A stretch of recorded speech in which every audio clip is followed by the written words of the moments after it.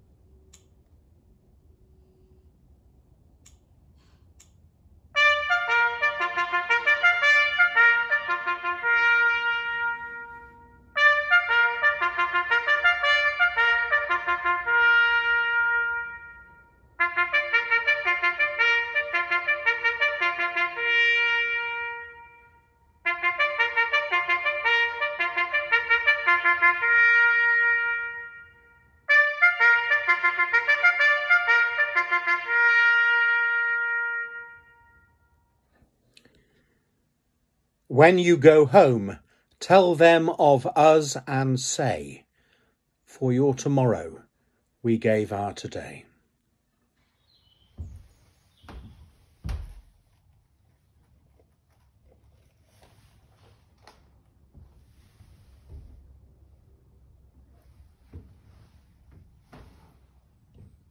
The lesson is taken from St. John's Gospel, chapter 15, verses 9 to 17.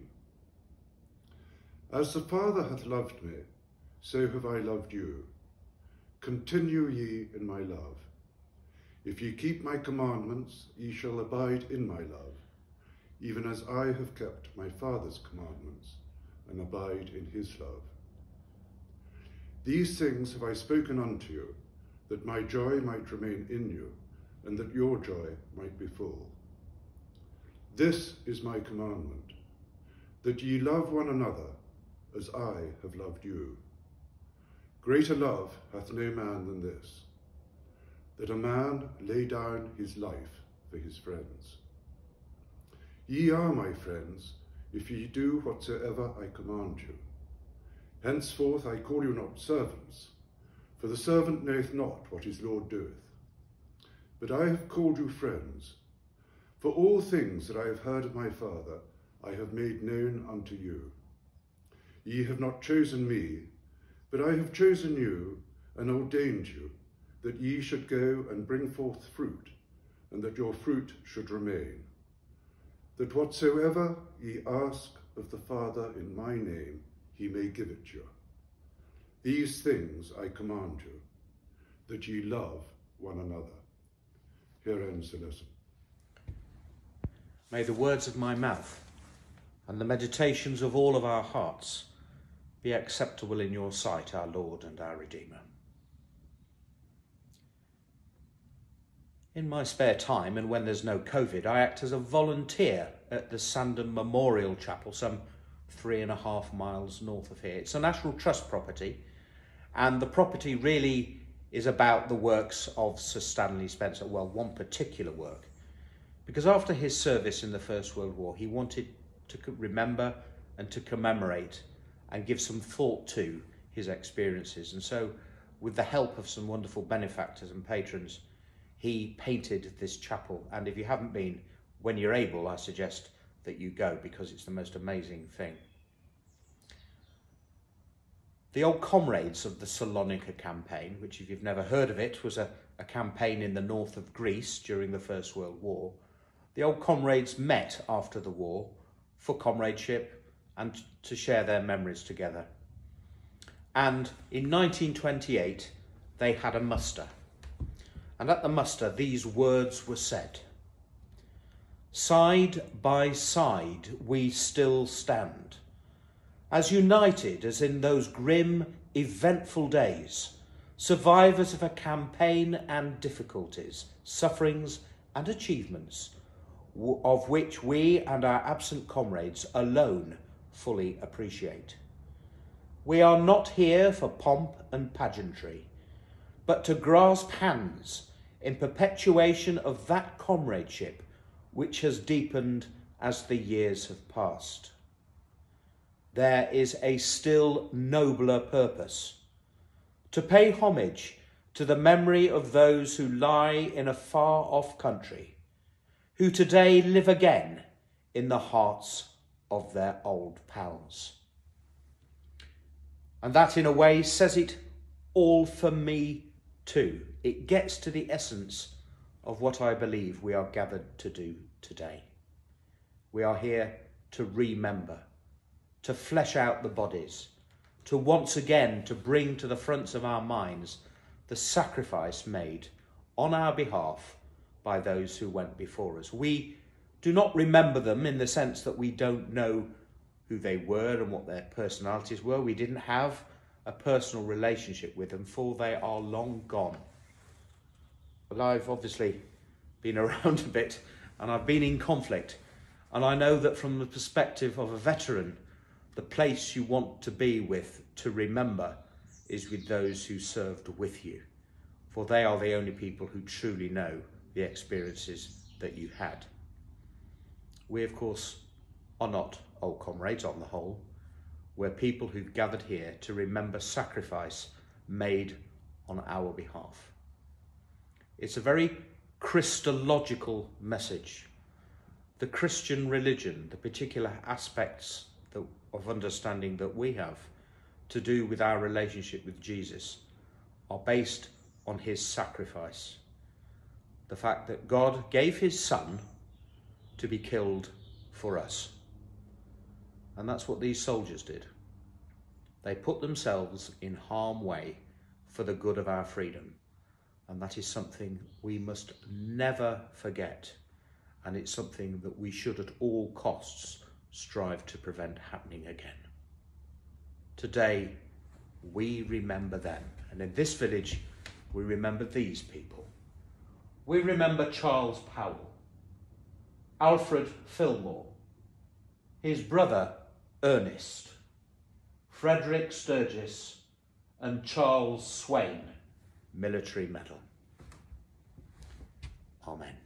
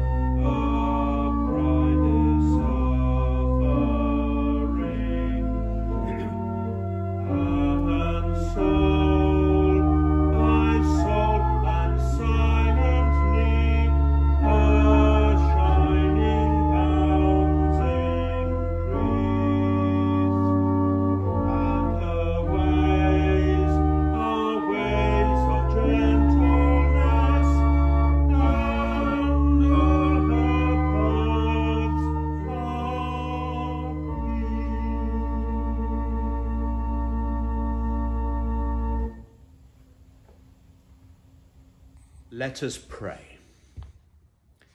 Let us pray for all who suffer as a result of conflict and ask that God may give us peace. For the servicemen and women who have died in the violence of war, each one remembered by and known to God.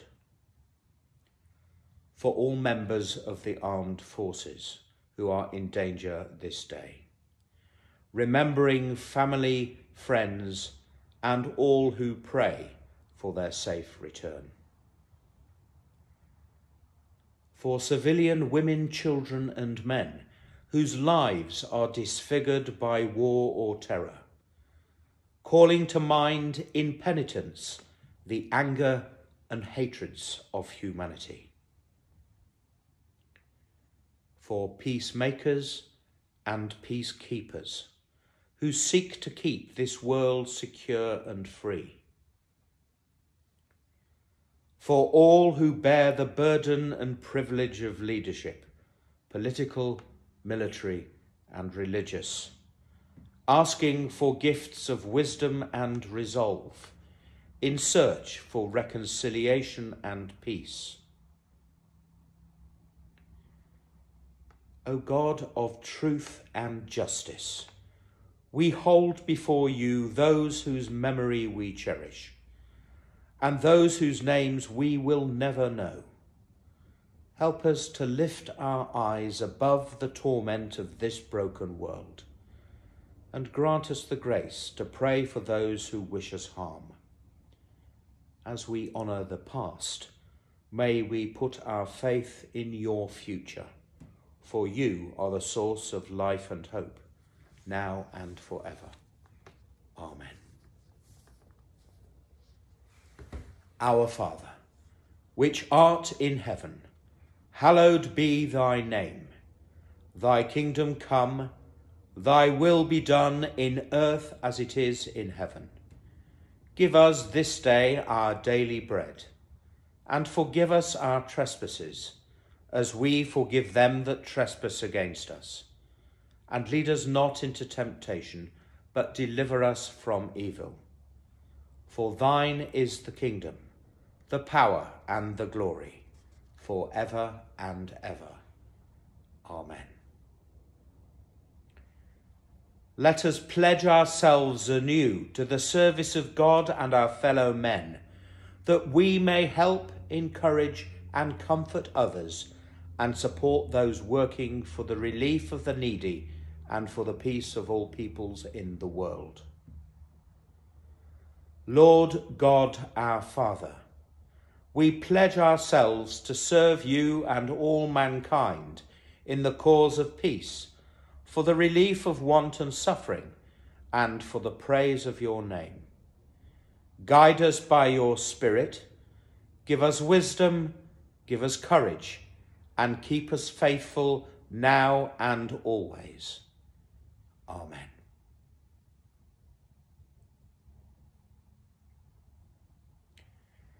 God grant to the living grace, to the departed rest to the Church, the Queen, the Commonwealth, and all people, unity, peace, and concord. And to us and all God's servants, life everlasting. And the blessing of God Almighty, the Father, the Son, and the Holy Ghost be amongst you and remain with you always. Amen.